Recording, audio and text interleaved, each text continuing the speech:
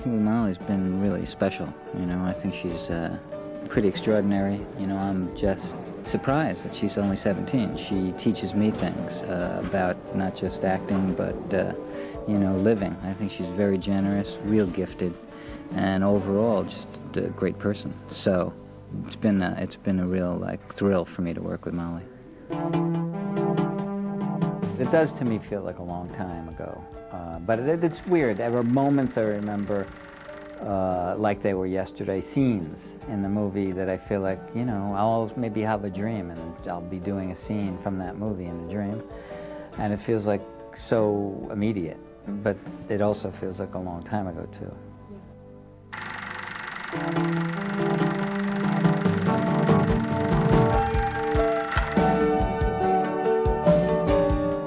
scripts come fast. The idea ideas germinate for a long time. I've had this idea since high school. You know, I mean, I saw these sorts of things happen. You know, I mean, I've, I've felt a lot of those things, and, I, and it was something that I wanted to deal with. For a long time, I thought about it as a boy's story, and then I thought, no, it, I think it'd be more interesting if I write it, having seen it as a male, write it for a female. It's also something I wrote for Molly. We finished 16 Candles. I wanted to work with her again. I got involved in Pretty in Pink because I had a previous uh, relationship with John Hughes. We'd worked on Mr. Mom together, we developed it together, and I produced it and he wrote it. By the time he started doing 16 Candles and Breakfast Club and Pretty in Pink, he just had his finger on the pulse of that age of kids and what their voice sounded like. He was he was totally cool, the most fun guy to hang out with in the world, and he just had a great ear. And so Yes, I think John Hughes' movies are a whole genre in and of themselves. Absolutely. I met John Hughes in New York because I was in the business of making trailers, and I had done the trailers for him for a couple of movies, 16 Candles and Breakfast Club. And he knew I wanted to direct and had written Pretty in Pink, and he let me read it. The, the reason I was drawn to Pretty in Pink is Pretty in Pink made me cry and I always had trouble crying, you know. And so I read that script and it just moved me. And I thought, you know, if it did that to me, it should do that to other people, uh, unless I really mess it up. I knew this was a huge break, and it was all due to John, because many people didn't want me to direct that movie, and he believed in me. So it was a huge break for me, and I owe an enormous debt of gratitude to him, and still do. Now, what did he say? I guess. Okay. Thanks, Mom.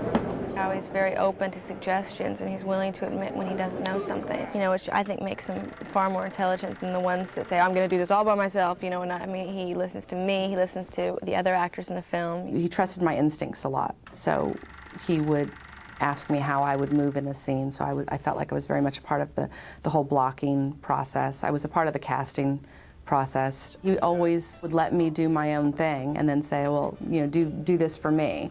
Uh, you know, it was very give and take.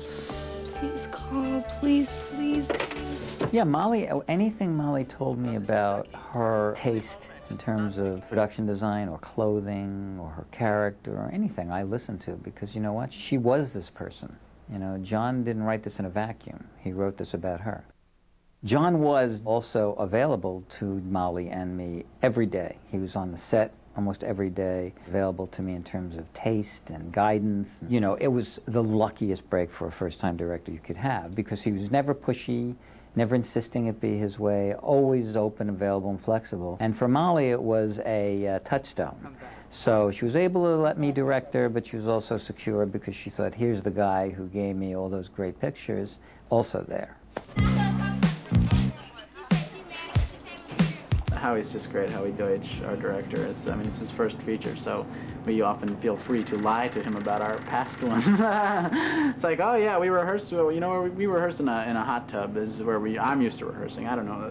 You know, I think that's standard practice, and uh, I think my trailer should be on the set. Uh, no, he's great, and uh, he's he's an incredibly caring person to work with for actors. And, you know, while the movie is called a John Hughes movie because he wrote it and produced it, uh, and it's clearly his sensibility it was directed by Howie Deutch, you know, a very uh, um, lovely, gifted guy. John was sort of like a father figure, you know, he would sort of breeze in, make some funny comments, we'd all go, ha ha ha, John, and then he would breeze out, you know, and people would say, oh, is that John Hughes, you know? Uh, uh, and, uh, I, I think he, uh, you know, having grown up uh, a geek, always sort of um, wanted to be that, that cool guy who could breeze in and breeze out. Howard's great. It's nice to see someone when you don't know admit you don't know, and you find a way together. And so he had a very loose hand on the rein, and yet he was very clear about what he wanted to do without in any way challenging anybody's ego or taking up space that might be threatening to anybody. And he had a very good sense of himself to not be threatened, and um, he put his own sort of style on.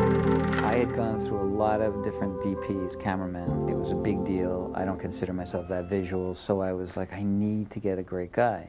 And one of the first that I had interviewed was Tak Fujimoto. There was something about him, and I loved his work with Jonathan Demme, and I thought, I want to be with that guy.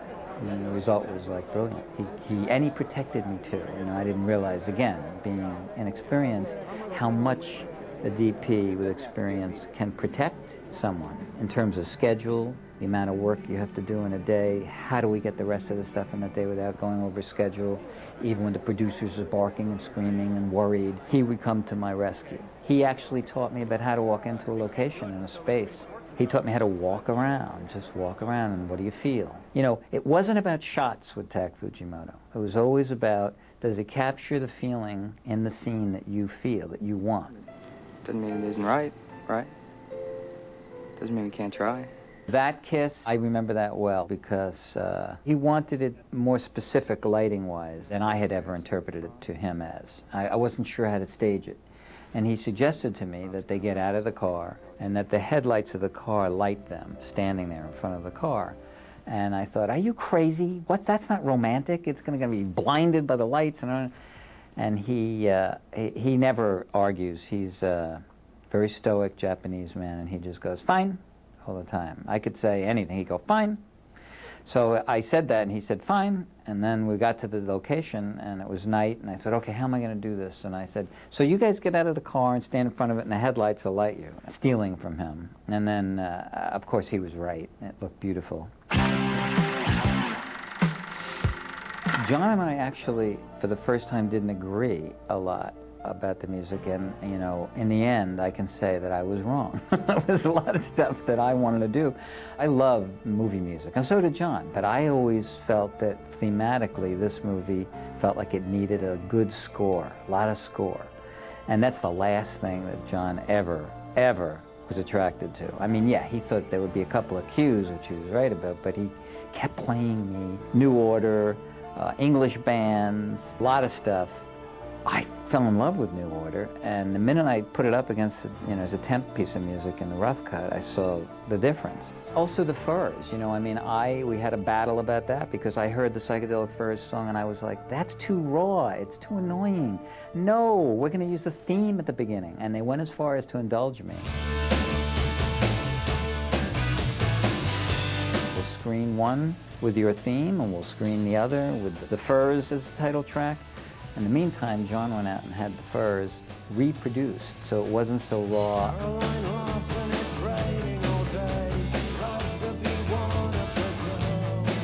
It was like amazing, and he was right. I mean, of course you want the psychedelic furs Pretty Pink to open the movie, but you know, again, I was my first movie, and I was a work in progress, and so I'll put it like that. I was wrong, and you know, I ended up using it four times in the movie the first. John, he's got every album from Hot, from Chicago. There was a record store called uh, Hot Tracks, I think it was. That was what we modeled our record store in Pretty in Pink after. And his office was just lined, ceiling to floor, with albums, every imaginable group from blues to country to English pop, all of it and it was constantly playing. So gentle, yeah. And he knew more than any A&R guy at any record company I ever knew. So I can't take the credit for the music. I can take some credit.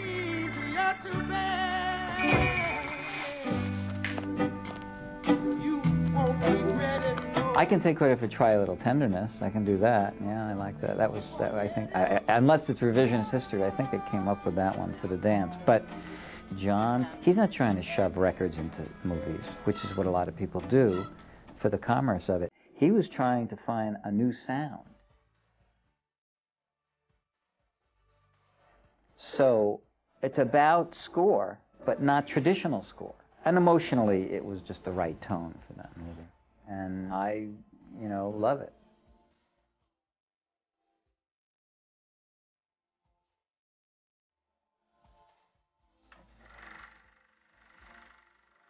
It's been a great collaboration with Howie. It's something that, I mean, I like, you know, I like producing it. You know, I mean, it's, you don't have to get up as early. I still love to write. In fact, when I finish directing a picture, I can't wait to start writing again. I just like to do it. You know, it was just a matter of I've got more scripts than I can possibly do myself. And someone like Howie, he's a very talented guy. He understands the material as if he had written it. I think what I brought to it was that it was my first. There was a lot at stake, and I think John knew that about me, that I had to prove something here. And whenever I think someone has that feeling, you know it's not just a job to them, it's about their life. And this was my life, this movie. This wasn't about going in and shooting and coming home and resting.